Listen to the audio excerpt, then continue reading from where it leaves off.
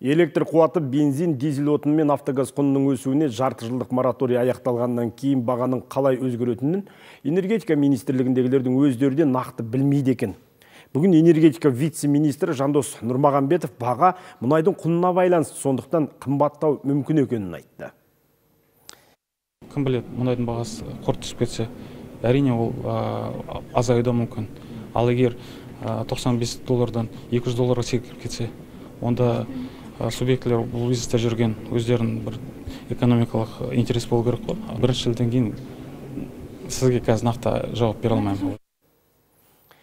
Иә естеріңізге салсақ әлихан смайылов басқаратын министрлер кабинеті президент тапсырмасынан кейін 180 күн бойы яғни бірінші шілдеге дейін коммуналдық қызметтер сұйытылған газ бензин дизель отынның бағасын қымбаттатпауға шектеу қойған.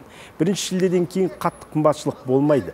Баға бақылауда дегенімен бекітілген мерзімнен соң оның қалай құбылатынын үкіметтегілер де экономистер де дөп басып айта алмай отыр.